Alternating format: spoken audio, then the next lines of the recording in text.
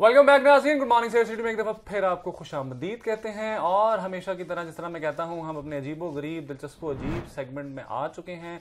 और मैं पहली खबर आपके साथ शेयर करता चलूँ लेकिन ऐसा कैसे हो सकता है कि वो खबर मैं शेयर करूँ और ताहिरा से सवाल ना करूँ? मैं आदत से मजबूर हूँ क्योंकि मैंने आज दवाई नहीं खाई हुई और डेली मैं दवाई नहीं खा कर आता जिसकी वजह से मैं ताहिरा से सवाल करता नहीं ये। कौन सी कोई ये बीमारी की दवाई होती है जो मैं खाना चाहता हूँ लेकिन फिर मुझे भूल जाता हूँ तो मैं आपसे सवाल करता हूँ। मसला ये हाँ जी जहनी तवाज़ुन का थोड़ा चले ये ऑफ़ स्क्रीन हम डिस्कस करेंगे ऑन स्क्रीन हो चुका है ऑफ़ स्क्रीन कुछ नहीं ऐसी कौन सी दवाई है जो अच्छा मेरी बात सुने अच्छा मेरी तो बात सुने। चले छोड़े इस बात को मेरी बात सुने। गलती हो जाती है। चले खैर। बताएँ अब मैं आपसे सवाल ये करता हूँ कि मुझे आप ये बताएँ कि जानवरों से मोहब्बत है आपको? जी बिल्कुल। बिल्कुल है। कौन से जानवरों से मोहब्बत है? बिलियों से। बिल्लियों से मतलब यू लाइक कैट्स लेकिन अगर मैं आपसे ये कहूँ कि एक ऐसा कोई मुल्क है जिसका रुझान इंसानों की शादियों को छोड़कर जानवरों की शादियों में पैदा हो गया। होगा। कहीं सुना है आपने कहीं ऐसा? ज़रूर होगा। ज़रूर होगा। हम्म। कौन सा मुल्क है? लगाए तुक्का। फिर मैं आपको कहूँ आप गलत हैं गलत हैं। ये आपने कहीं देखा है? नहीं ये इन्होंने चीट किया मेरे साथ नहीं नहीं ये मतलब कभी है। अगर मैंने सही जवाब दे नहीं दिया उसका मतलब है कि मैं तुक्का नहीं इन्होंने देखा आप मेरे टैलेंट पे शक नहीं कर सकते आप बताएँ कि। वाकई में नहीं चीन आपने देखा ये आपने अब मैं कह चुका हूँ कि आपने देखा इसका मतलब वो चीनी दूँ? है वो चीनी दे है नहीं नहीं है या चीटिंग करती है नाजी उन्होंने चीटिंग की है ठीक है तो अब मैंने शो के बाद इनसे दो मिनट बात नहीं करनी अच्छा मेरी बात सुने आप तो ये चीनी है ये सही कह रही है मेरी को एंकर बिल्कुल दुनिया में एक ऐसा मुल्क जिसका नाम है चीन वहाँ पर इंसानों की शादियों का रुझान अब कम हो गया है और वहाँ पर जानवरों की शादियों का रुझान पालतू जानवरों की शादियों का रुझान जो है वो ज़्यादा हो गया है। इस हो चीज़ पर सकता है कि चीन की आबादी बढ़ गई क्योंकि वहाँ पे इंसानों की आबादी अमूमन तौर पे कहा जाता है ना कि वहाँ पे वैसे भी कुछ ऐसा रूल्स हैं कि जिसमें बहुत ज़्यादा बच्चे नहीं होते अंदर उनके कम्यू- चीन के अंदर उनकी गवर्नमेंट ने कम्युनिज्म निज़ाम को जो है वो नाफिज किया हुआ है जिसके अंदर जो उस निज़ाम के तहत एक कपल दो से ज़्यादा बच्चे अगर पैदा करेगा तो उसकी ज़िम्मेदारी उन माँ बाप की होगी नहीं तो दो बच्चों की ज़िम्मेदारी गवर्नमेंट की होगी तो बस इसीलिए ना उनके यहाँ बच्चे कम होते हैं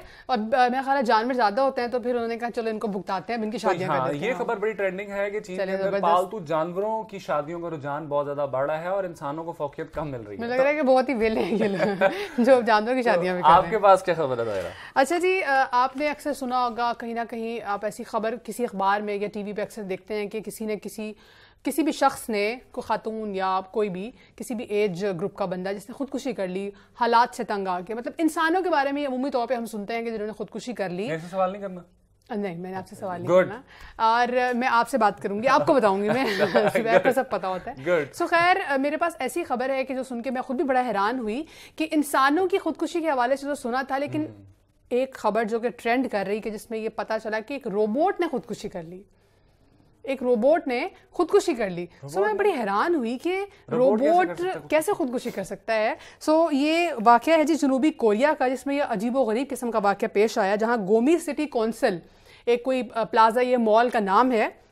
जिसमें रोबोट एक एम्प्लॉय था जो बहुत से काम करता था और इसने ये ऐसे ही सीढ़ियों के पास गिरा हुआ पाया गया जिसकी पिक्चर बहुत वायरल हुई और लोगों ने कहा कि जिसे सुसाइड अटेम्प्ट कर लिया। यानी कि रोबोट ने काम करना छोड़ दिया ना उसने फ़ंक्शंस करना छोड़ दिए और उस पर बर्डन।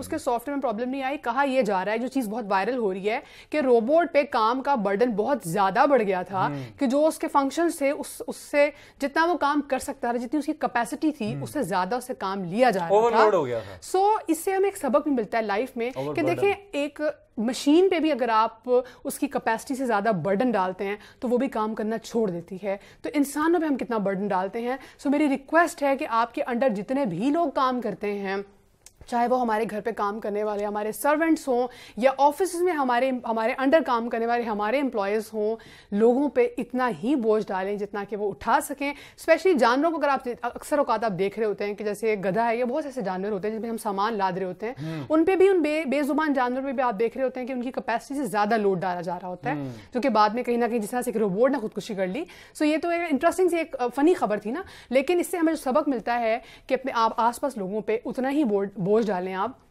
जितनी उन- उनमें कैपेसिटी है जितना वो बोझ उठा सकते हैं। सो so, ये था जी हमारा आज का शो उम्मीद करते हैं कि आपको बहुत मज़ा आया होगा बहुत सी इंटरेस्टिंग बातें आपको पता चली होंगी। कल किसी नए शो के साथ कुछ और अच्छी बातों के साथ दोबारा आपकी खिदमत में हाजिर होंगे। और आपने हमें फॉलो का करना है हमारा ट्विटर का अकाउंट है पीएससी सेव सिटीज़ और हमारा फेसबुक अकाउंट है पंजाब सेव सिटीज़ हम इसके साथ साथ तमाम सोशल मीडिया प्लेटफॉर्म पे अवेलेबल हैं चाहे यूट्यूब हो चाहे टिकटॉक हो चाहे इंस्टाग्राम हो। इसके साथ साथ मुझे और ताहिरा को इजाज़त दीजिए। अपना बहुत सारा ख्याल रखिए। अल्लाह हाफिज।